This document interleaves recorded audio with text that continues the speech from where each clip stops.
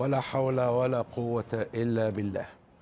هذا مسجدنا هذا أقصانا وهؤلاء إخواننا هذا صراخنا وهذه رصاصاتهم هذا صمودنا وتلك أفعالهم وعنفهم وقسوتهم ووحشيتهم. هذا هو كسرهم لكل العهود والمواثيق. ضرب تنكيل اعتقال قنابل صوت غاز مسيل للدموع يوم حزين على المسجد الأقصى والقدس والفلسطينيين بل والعرب جميعا بل والمسالمين جميعا. لا أبالغ أنها رسالة بليغة من إسرائيل للعالم. مضمونها نحن أي إسرائيل قوة لا تحترم. ولا تراعي مقدسات المسلمين لا زمانا ولا مكانا ولا انسانا لا رمضان ولا الأقصى ولا المسلم المسالم. أرسلت إسرائيل هذه الرسالة واضحة للعالم.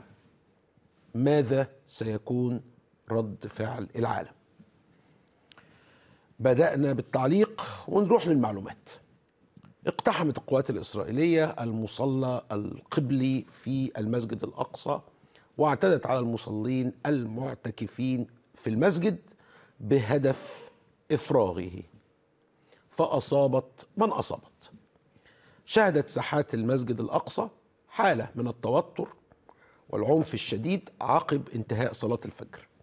اقتحم الجيش الإسرائيلي وعناصر من الشرطة ساحات الحرم بوحشية متناهية. هذا أدى لإصابة أكثر من من 200 مسلم مسالم أعزل كحصيلة أولية. ولكن إسرائيل كمان اعتقلت 400 معتقل. مرة أخرى مسلم مسالم مصلي داخل المسجد الأقصى. طب إيه أصل الموضوع؟ من يومين أعلن وزير الأمن القومي الإسرائيلي بن غفير الموصوف جوه إسرائيل بأنه شخص متطرف. أعلن عن إيه؟ عن اقتحام للمسجد الأقصى النهارده الاربع بمناسبة الأعياد اليهودية.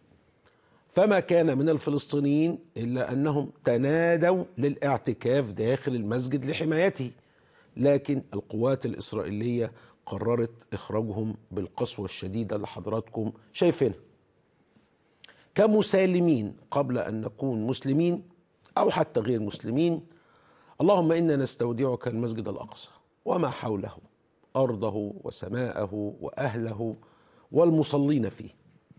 يا من لا تضيع الودائع عنده.